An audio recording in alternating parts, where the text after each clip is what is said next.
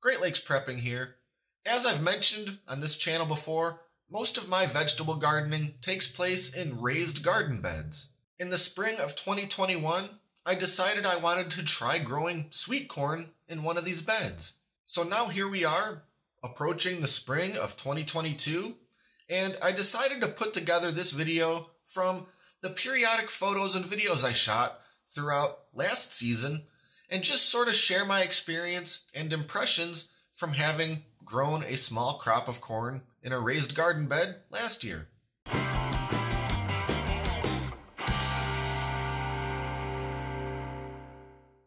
While it's generally said that corn should be grown in multiple rows for a successful crop, I have seen lots of people grow it in relatively small spaces, such as raised garden beds. The bed I wanted to try this in is 3 foot by 8 foot, which really only gives me room for two rows of corn. Still, I wanted to give it a try and see how viable it was. So after preparing my soil with compost and organic fertilizer, I got to planting. I did the best I could to space my seeds according to the packet's instructions, but due to the size of my raised bed, the space between my two rows was a bit narrower than what is recommended. It only took about five days before I started to see some green sprouting out of the soil, and the stalks just kept growing pretty quickly from there. Once the stalks got a few inches tall and were pretty sturdy, I added wood chips to the bed I do this for both weed control and to help the soil retain moisture. Very little weeding is needed after the wood chips go down, and I seem to be able to use much less water throughout the year than I used to before I started using wood chips. Now, one of the biggest problems I hear from people who grow small crops of corn is that the stalks are very prone to being blown over or damaged by the wind.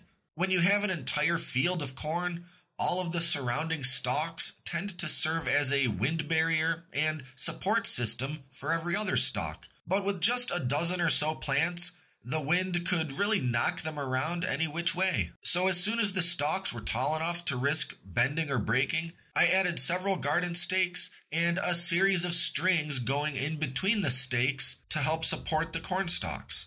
This ended up being sort of clumsy and messy looking, but it did the trick. I only had one stalk get knocked over by the wind, and it was at the end of the season after the ears had already been picked. If I did this again, I probably wouldn't do the stakes and strings the way I did it this time, but rather individual longer stakes for each corn stalk.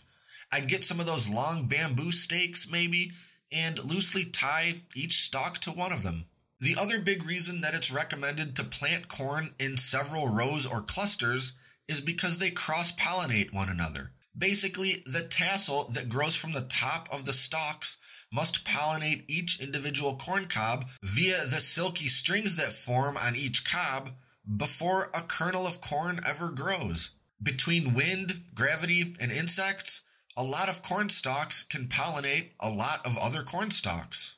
Now, corn can be manually pollinated, and even though I saw a lot of bee activity around the tassels of these corn stalks, I decided to do this anyway just to be on the safe side. It wasn't a ton of work, considering the small number of corn plants I'm dealing with here. Basically, I just snip off one segment of a plant's tassel and rub it around on the silks of each cob. Obviously, this wouldn't be a viable solution for, say, a 10 acre crop containing thousands of corn stalks, but for my handful of stalks, it was worth the five minutes just to be sure. After all, without that pollination, I simply won't have cobs full of kernels. Most corn stalks will grow two or three cobs of corn, sometimes more, sometimes less, but usually two or three.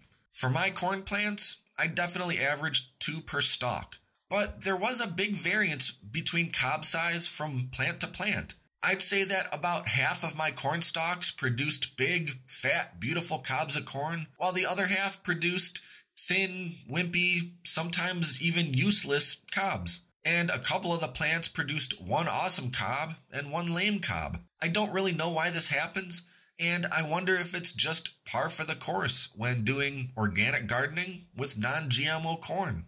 In any case, the cobs that turned out good turned out really good. It was without a doubt some of the tastiest corn I've ever had. I've certainly had bigger cobs from the grocery store or farmer's market, but this corn was absolutely delicious.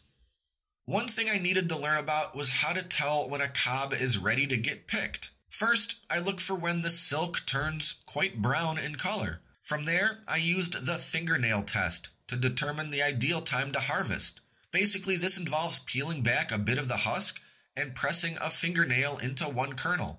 If a little bit of liquid comes out and it's quite milky looking, it's time to pick. If the liquid is clear, it's probably too early. And if there's no liquid at all, it's either too late or the corn just isn't very good for whatever reason. So, after having planted, grown, harvested, and eaten my very own corn, here are some of my main takeaways. One, you can definitely plant just two rows of corn in a raised garden bed. Two, it's very satisfying to watch a tiny kernel turn into a monstrous six foot tall corn stalk. Three, it's even more satisfying to snap a cob off that stalk, shuck it, cook it up, and eat it.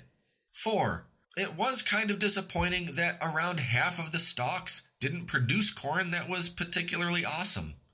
Five, the cobs became ready to harvest at different times, spanning two or four weeks.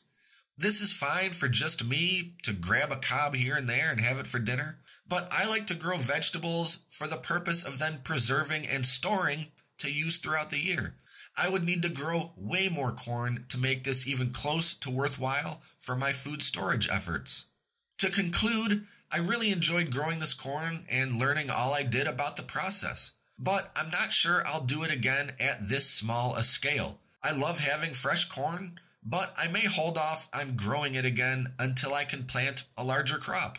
So that's about it. Just a sort of quick video to share my experience growing corn in a raised bed for the first time. Don't forget to like and subscribe and stay up to date on all our latest stuff, including future gardening videos. Thanks for watching, and until next time, this is Great Lakes Prepping.